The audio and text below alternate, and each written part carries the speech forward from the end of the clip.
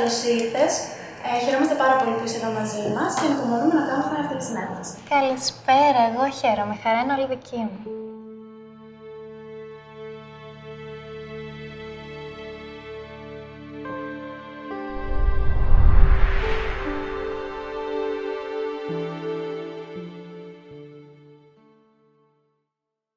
Να αρχίσουμε.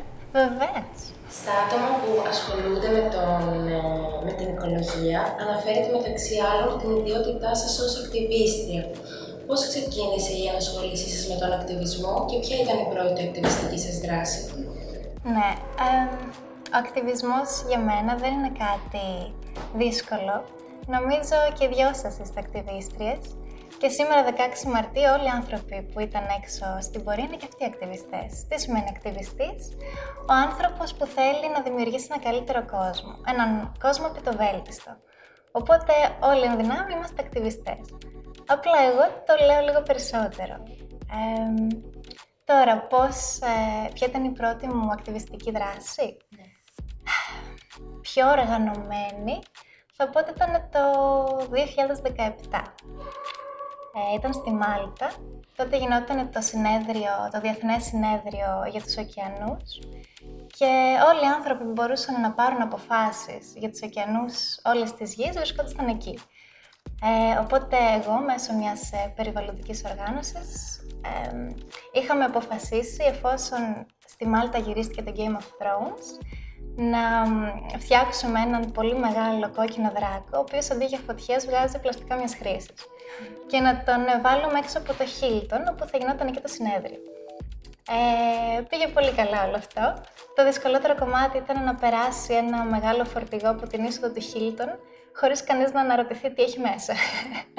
Ε, τελικά, όντως κανείς δεν αναρωτήθηκε, γιατί δεν ξέρω γιατί. Ε, πήγε πολύ καλά η δράση, τόσο καλά που ε, όσοι ήταν μέρος του συνεδρίου νομίζαν ότι αυτό το έχει δημιουργήσει το ίδιο το Hilton. Ήταν λέει, τόσο καλοφτιαγμένο αυτό το γλυπτό, αυτός ο τεράστιο δράκος, ε, που ήταν σαν να έχει δημιουργηθεί από την ίδια τη διοργάνωση. Τι είχε γίνει εκείνη τη χρονιά με τα πλαστικά, ε, πάρθηκε μια απόφαση για να δώσουν μια χρηματοδότηση ε, για να μειωθούν τα πλαστικά μιας χρήσης. Παρ' όλα αυτά, εμείς αυτό που θέλαμε είναι να σταματήσει τελείως η παραγωγή τους από τις μεγαλύτερες εταιρείες. Δεν το έχουμε πετύχει ακόμη, αλλά ήταν ένα πρώτο βήμα. Αυτή ήταν η πρώτη δράση. Ήταν δηλαδή σαν το μπουρί πράγμα. Ναι, ακριβώς αυτό. Ήταν ακριβώς αυτό. Ε, μάλιστα, επειδή έγινε με άτομα από διαφορετικές χώρες, του εξηγούσαμε ακριβώς αυτή την ιστορία. Εννοώ. Ε, και σαν άνθρωπος γενικά, σε πάρα πολύ τη φύση και προσπαθείς να ενημερώσεις και να διαβάζεις. Ε, και τι συμβολίζει για σένα ένας πιο slow living τρόπος ζωής και τι θα συμβούλευε σε ένα άτομο που θα έχει αποφασίσει να, να τον ακολουθήσει. Ναι. για μένα σεβασμός ε, προς τη φύση δεν είναι χόμπι, είναι κάτι που θα έπρεπε όλοι μας να έχουμε ε, σαν υποχρέωση, γιατί είμαστε κομμάτι της φύσης. Δεν είναι δηλαδή, α, παίζω πιάνο το ίδιο με το σέβομαι τη φύση. Ε, οπότε νιώθω ότι είναι ένα κομμάτι μου και μια υποχρέωση και γεννήθηκα με αυτή την αγάπη. Νιώθω ότι όλοι οι άνθρωποι γεννιούνται με την αγάπη προς τη φύση, αλλά κάπως ξεχνιόμαστε. Ζώντας στην πόλη δηλαδή, ακολουθώντας μια ρουτίνα κάπως πιο απαιτητική, ξεχνάμε να σεβόμαστε το περιβάλλον. Μπορούμε όμως να το ξαναθυμηθούμε. Ε, ποιο ήταν το δεύτερο κομμάτι της ερώτησης; Ε, ακολουθείς ένα πιο slow τρόπο ζωής και τι θα έλεγες σε ένα άτομο που θα ήθελε να τον ακολουθήσει; Ναι. Ε, όντως, ζω λίγο πιο αργά. Ε, δεν έχω μάθει και ποτέ να ζω πιο γρήγορα. Νιώθω ότι είμαι ένας άνθρωπος που κινείται και αργά. Αν με δείτε δηλαδή στο χώρο και μου πείτε να κάνω κάτι γρήγορα, δεν θα συμβεί ποτέ αυτό. Ε, νιώθω ότι αν κάποιος άνθρωπος θέλει να ζει στο τώρα, γιατί αυτό σημαίνει slow living, να ζούμε τη στιγμή. Ε, που μέσω αυτού προέρχεται και ο σεβασμός προς το περιβάλλον, γιατί αν ζεις τη στιγμή, αρχίζεις και παρατηρείς τα πουλιά που κελαϊδάνε, το γρασίδι που είναι πράσινο. Τότε έτσι σταματάει λίγο χρόνος και ξεκινάς να εκτιμάς και το περιβάλλον γύρω σου. Ε, θα έλεγα σε κάποιον που θέλει να ζήσει έτσι, να ξεκινήσει αντίστροφα, να σκεφτεί γιατί είναι αυτό που δεν τον έχει κάνει να ζει έτσι μέχρι τώρα. Είναι το μέρος που ζει, είναι η δουλειά που κάνει, είναι το, η φίλη που έχει. Ό,τι τον αποσπά από το να ζει πιο φιλικά προς το περιβάλλον, να το εντοπίσει και ίσως να το απομονώσει. Και μετά να ξεκινήσει σιγά σιγά ε, προς ε, αυτή την κατεύθυνση. Αλλά όσο ζούμε έτσι μια πολύ δύσκολη καθημερινότητα, δεν υπάρχει χρόνος ούτε να σεβαστούμε το περιβάλλον, ούτε να σκεφτούμε τα πλαστικά, τίποτα. Ε, οπότε ίσως λίγο να ξεκινήσει αντίστροφα. Και παράλληλα με αυτή την ακτιβιστική σου δράση και την οικολογική σου προσπάθεια, είσαι και φωτογράφος αλλά και ανθρογράφο και έχεις δημιουργήσει το Girl in the Museum. Ε, ποια ήταν λοιπόν η έμπνευση πίσω από αυτή την σελίδα και αυτή την προσπάθεια που κάνεις; Mm. Φωτογράφος είμαι γιατί σπούδασα φωτογραφία τέσσερα χρόνια, αρθρογράφος γιατί ε, δημιουργήσα το δικό μου ιστολόγιο. Ε, τα μουσεία για μένα είναι ένας χώρος, ίσως όπως ακριβώς και το φυσικό περιβάλλον, με εμπνέουν πάρα πολύ και αυτό προέρχεται από τον τρόπο που μεγάλωσα κιόλας. Ε, νομίζω όταν έχα, επειδή πήγαινα πολύ στα μουσεία με τον μπαμπά μου, ε, όταν έφυγε από τη ζωή, ε, προσπαθώντας με κάποιο τρόπο να έρθω λίγο πιο κοντά του, πήγαινα πολύ σε μουσεία. Και με στεναχωρούσε το ότι οι άνθρωποι λέγανε ότι τα μουσεία είναι πολύ ψυχρή χώρη, ότι ε, δεν πηγαίνουμε στα μουσεία γιατί είναι βαρετά. Ε, το άκουγα λοιπόν αυτό και με θύμωνε. Ε, αλλά φυσικά δεν είμαι ένας άνθρωπος που θα θυμώσει και θα σου πει ε, ε, στο πρόσωπο σου ότι Αχ, τι είναι αυτά που λες. Οπότε ξεκίνησα να γράφω. Ε, Κάπως έτσι ξεκίνησε η ιδέα μου. Μετά, βέβαια, συνειδητοποίησα ότι πολλοί άνθρωποι ενδιαφέρονται για τα μουσεία, πολλοί τα αγαπάνε. Απλά εγώ δεν τους ήξερα. Μετά τους έμαθα λόγω του, αυτού του ιστολόγιου και είχα και έναν έτσι πιο κρυφό, μια πιο κρυφή σκέψη, επειδή θέλω να έχω το δικό μου μουσείο στο μέλλον. Ε, μέσω αυτού του τρόπου θα γνώριζα και ανθρώπους που μπορούν να με βοηθήσουν. Ε, που και αυτό έγινε. Οπότε θα δούμε στο μέλλον, μπορεί να γίνει κάτι ακόμη πιο όμορφο. Ε, είσαι ένας άνθρωπος που έχει ταξιδέψει πάρα πολύ σε διαφορετικά μέρη του πλανήτη για διαφορετικούς λόγους και κάτω από διαφορετικές συνθήκες.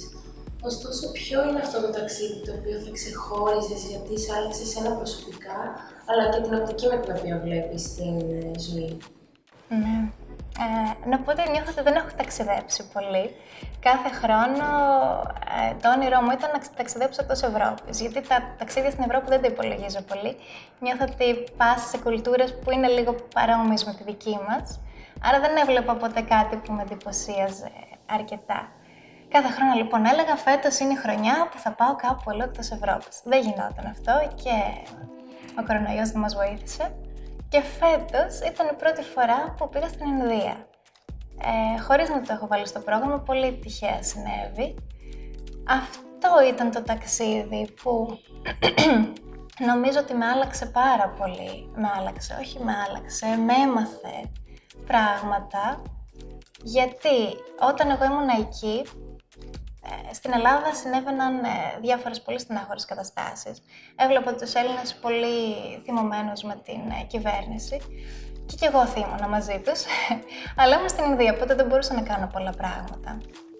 Όσο όμως βρισκόμουν εκεί, συνειδητοποιούσα και πόσα πράγματα θεωρούμε δεδομένα εδώ στην Ελλάδα και δεν τους δίνουμε τόσο μεγάλη αξία. Δηλαδή το γεγονός ότι υπάρχει ρήπανση στην Ελλάδα, αλλά δεν είναι σε καμία περίπτωση στο επίπεδο που είναι στην Ινδία, είναι πολύ σημαντικό. Το γεγονός δηλαδή ότι περπατάμε στο πεζοδρόμιο χωρίς να φοβόμαστε ότι θα πάθουμε κάποια μόλυνση ε, είναι κάτι που δεν αναγνωρίζουμε κάθε μέρα, αλλά μια πραγματικότητα στην Ινδία. Ε, η δωρεάν παιδεία που έχουμε, το γεγονός ότι οι περισσότεροι Έλληνες έχουν την ευκαιρία να μεγαλώσουν σε ένα σπίτι με τρεχούμενο νερό που μπορεί να το καταναλώσουν, είναι πόσιμο νερό. Δεν είναι σαν την Ινδία που όλο το νερό έχει ρήπανση και δεν μπορείς να πιεις από πουθενά νερό. Πρέπει να ε, παίρνεις μπουκάλια με νερό. Εντάξει, αυτό γίνεται σε κάποια ελληνικά νησιά και σε διάφορες άλλες περιοχές, αλλά είναι ένα αγαθό στην Ελλάδα που δεν το εκτιμάμε όσο θα έπρεπε. Ινδία. Και ε, προτείνω σε όσους δεν έχουν πάει να πάνε κάποια στιγμή στη ζωή τους, γιατί θα μάθουν όσα λέω εγώ τώρα και ακόμη περισσότερο. Ένα ταξίδι ζωής. Ε, ναι, ακριβώς. Επίσης, μιλώντας για ταξίδια, πρόσφατα ίσως πραγματοποιήσετε ένα μεγάλο ταξίδι, καθώς έξι μήνες ήσασταν πάνω στο Arctic Sunrise. Ε, αν είχατε τη δυνατότητα να απομονώσετε μια μονάχα στιγμή, η οποία ήταν για σας πολύ έντονη και σας σημάδεψε, ποια θα ήταν αυτή; Ναι, το Arctic Sunrise είναι ένα από τα πλοία της Greenpeace. Ε, εγώ βρέθηκα εκεί έξι μήνες γιατί κανονικά μένεις τρεις μήνες πάνω στο πλοίο, αλλά εγώ έμεινα έξι γιατί τους πρώτους τρεις το πλοίο έκανε συντήρηση στο λιμάνι του Ηρακλείου, Οπότε δεν είχαμε πάει πουθενά, ήμουν κολλημένη τρεις μήνες στο λιμάνι. Κάναμε συντήρηση μένα, αλλά δεν είχα δει κάποιο μέρος. Οπότε πίεζα πάρα πολύ να ταξιδέψω με το πλοίο. Τελικά βαρεθήκανε να το πιέζω, με κρατήσανε. και πήγαμε από το Ηράκλειο στην ε, Τουρκία, μετά από την Τουρκία στην Κροατία και από την Κροατία στα Κανάρια νησιά που βεβάστηκα. μια στιγμή που θα θυμάμαι για πάντα είναι όταν έκανα ένα μεγάλο λάθος. Γενικά δεν μου αρέσει καθόλου να κάνω λάθη. Είμαι ένας άνθρωπος ε, τελειομανής που δεν χαίρεται όταν κάνει λάθη και τα... προσπαθώ να μην βρεθώ σε αυτή την κατάσταση. Ε, εγώ στο πλοίο μου τα πλήρωμα καταστρώματος, που σημαίνει ότι όταν ε, φεύγουμε από ένα λιμάνι θα ήμουν στο, στην πλώρη του πλοίου και θα βοηθούσαμε τα σχοινιά να τα μαζέψουμε, να τα τακτοποιήσουμε κτλ. Φεύγουμε λοιπόν από το λιμάνι της Κωνσταντινούπολης και κάποια στιγμή στον ασύρματο ζητήσανε στη γέφυρα ένα άτομο που να ξέρει να κάνει πιδαλιούχηση, δηλαδή να πάρει το πιδάλι, να οδηγήσει το πλοίο. Ζητάνε λοιπόν από τον ασύρματο για κάποιο λόγο ένα άτομο από το πλήρωμα καταστρώματος να οδηγήσει το πλοίο. Αυτό λέγεται steering στα αγγλικά. Ε, Όμως ο υπεύθυνος της ομάδας πληρώματος καταστρώματος άκουσε τι. Νόμιζα ότι κάποιος θέλει να του φτιάξουν ένα τσάι. και μου λέει: Μαρίζα, πήγαινε στη γέφυρα, κάποιο ζητάει να, κάνει, να τους κάνεις ένα τσάι. Όχι, βέβαια, να τρέξω να πάω. Αυτό ήταν σε ένα μεγάλο αναβαρασμό. Τρέχω λοιπόν εγώ στην Πώς είναι δυνατόν το τσάι είναι τόσο σημαντικό αυτή τη στιγμή. Τέλος πάντων, εμφανίζομαι στη γέφυρα, με κοιτάνε όλοι, μου λένε Α, ξέρεις να, ε, να πιάνεις το τιμόνι. Εγώ λέω ναι. Ήξερα, με είχαν μάθει. Ε, το έκανα πολύ καλά. Εκείνο που δεν ήξερα είναι οι εντολές που πρέπει να ακολουθήσω. Υπάρχουν κάποιες στάνταρ ε, ναυτικές εντολές. Γιατί με είχε μάθει ένας Ασιάτης φίλος, ο οποίο δεν ήξερε καλά αγγλικά. Άρα με είχε μάθει πολύ καλά, πάρα πολύ σωστά να οδηγά το πλοίο, αλλά όχι να μαθαίνω, να ξέρω τις εντολές, να υπακούω τις εντολές. Άρα λοιπόν λέω ναι, εγώ δεν έχω καταλάβει τι συμβαίνει, πάω στο τιμόνι, μου λένε ε, πήγαινε, ακολούθησε αυτή την, ε, την πορεία αυτής ε, του τζαμί.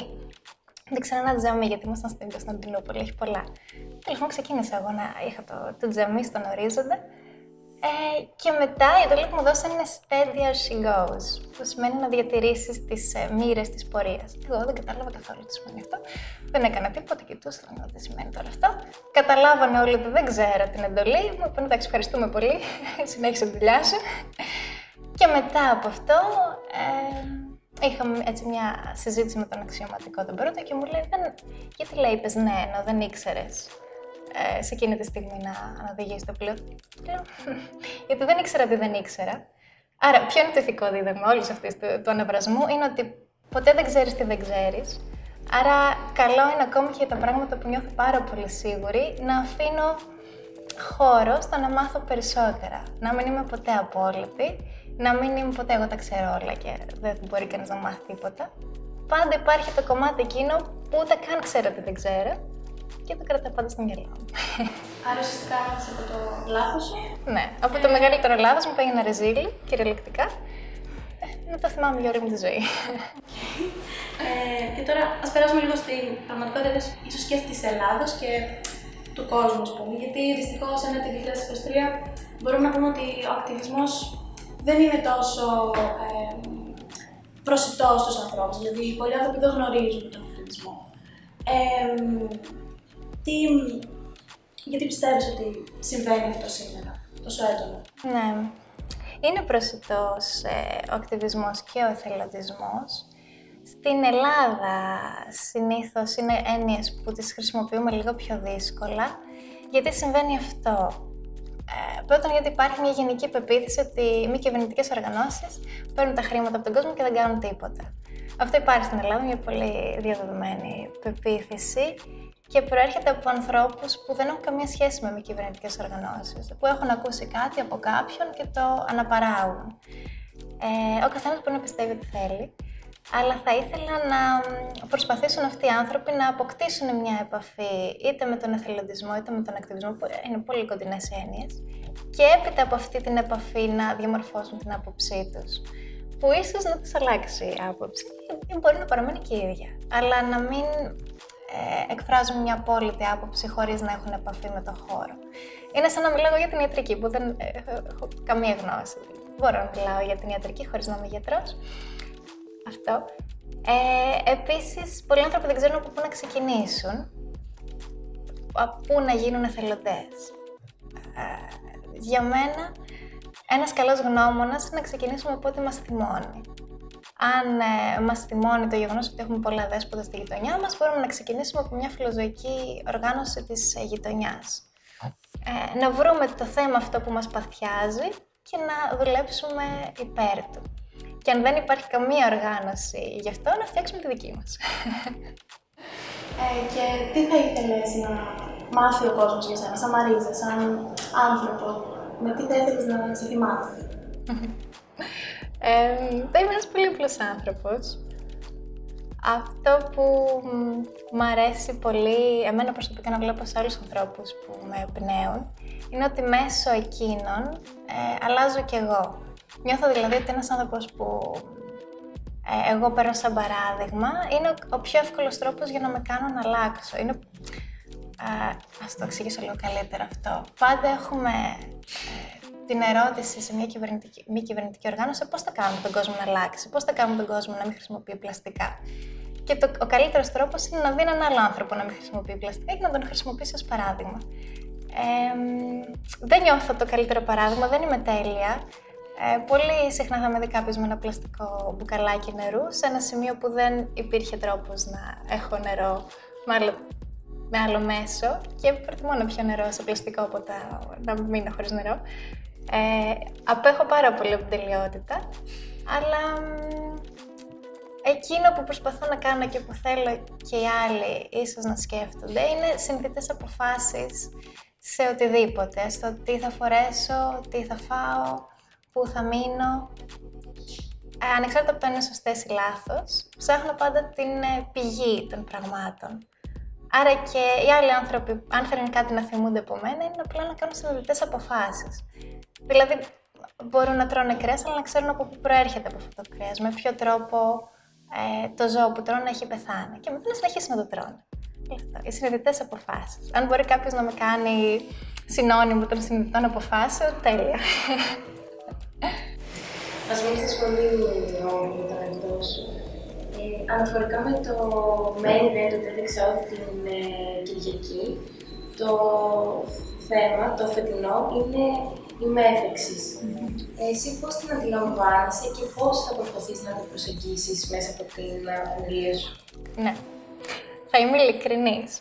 Ε, όταν με πήρε ο Γιώργος τηλέφωνο, που είναι και τώρα μαζί μας, ο speaker coach μου, ε, και μου είπε το θέμα της ε, ομιλία ότι θα είναι η μέθηξη. Εγώ του λέω: Ναι, βεβαίως. Πάρα πολύ ωραία. Δεν ήξερα τι σημαίνει. ναι, ναι, ναι, βέβαια. Του λέω: Α, έχω πάρα πολλά να πω για τη μέθηξη. ναι, μετά ξεκίνησα να κάνω έρευνα, κατάλαβα τι σημαίνει. Ε, με ενδιαφέρει πάρα πολύ σαν έννοια ε, το πώς έρχεται ο κόσμος των ιδεών ε, να γίνει πραγματικότητα στην κανονική ζωή, στη ζωή που βλέπουμε. Και εγώ θα το προσεγγίσω αυτό το θέμα γιατί ο κόσμος των ιδεών ο δικός μου είναι τα παιδικά μου όνειρα. Πώς λοιπόν τα παιδικά όνειρα τα δικά μου γίνονται πραγματικότητα στην ανήλικη ζωή. Αυτά. Και τέλος, τι σε έκανε να πεις ναι στη συνεργασία σου με το TEDx Λοιπόν, ένας ε, παλιός φίλος μου είχε πει κάποτε ότι το νόημα της ζωής είναι να μεταδίδουμε γνώση στις επόμενες γενιές. Ε, και δεν το ξεχνάω. Άρα λοιπόν ε, το TEDx είναι ένας πολύ ωραίος τρόπος μετάδοσης γνώσης. Ε, καθόλου, δεν θα μπορούσα να πω όχι σε κάτι τέτοιο. Είναι πολύ έξω από το comfort zone μου, πολύ έξω από την... Ε, πολύ έξω από αυτό που νιώθω εγώ άνετα, αλλά νιώθω ότι θα βελτιωθώ βγαίνοντας έξω από την ζώνη που νιώθω άνετα και ταυτόχρονα ίσως ελάχιστα βελτιωθεί και κάποιος που μπορεί να μ' ακούσει. Άρα, γενικά από όλη αυτή τη διαδικασία βελτίωσης, ποιο με εγώ που θα πω όχι. Απλά χωρίς να το σκεφτώ καθόλου. Ναι. Ανυπομονούμε λοιπόν να σε δούμε και να σε ακούσουμε την Κυριακή στο main event και ευχόμαστε να περάσει υπέροχο μέχρι τότε στην πόλη. Εγώ ανυπομονώ. Εγώ ευχαριστώ.